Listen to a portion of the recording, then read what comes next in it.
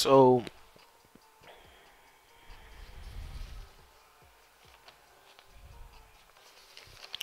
Good morning class. Today we will be discussing homeographs.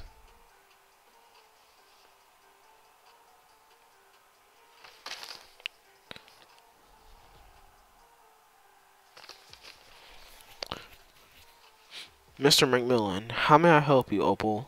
May I go to the restroom? Yes, you may. Homeographs are words that are spelled the same but have different meanings. Mr. McMillan, yes, Alice.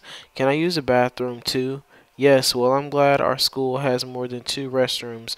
Would anyone like to give the class an example of homeographs? Ooh, ooh, me, Mr. McMillan. Pick me. I got mad when people I get mad when people lie to me. I love to lie on the sofa and watch movies. Good job. Hue in the context of color and graphics refers to the attribute of visible light due to which it is differentiated from or similar to the primary colors red, green, and blue. The term is also used to refer to colors that have no added tint or shade. Hue. Noun. Hue, adjective, color.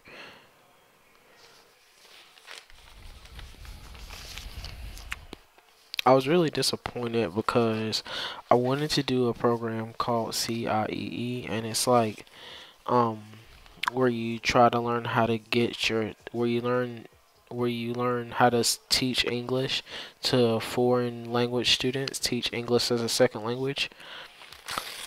But um look, you can get your TOEFL certificate other ways with the CIE program, they charge you to get your TOEFL, but if you look online, there are websites that will let you get your TOEFL completely free. Do not fall for that. Do not pay to get your TOEFL because more than likely these programs will scam you.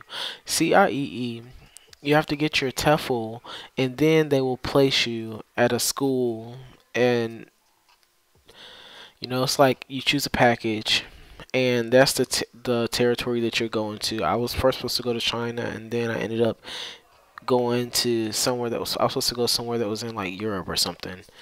Um, but what I suggest is that if you do do that type of program, get your your TOEFL certificate off line first for free, then you know pay your regular fee for going to the program.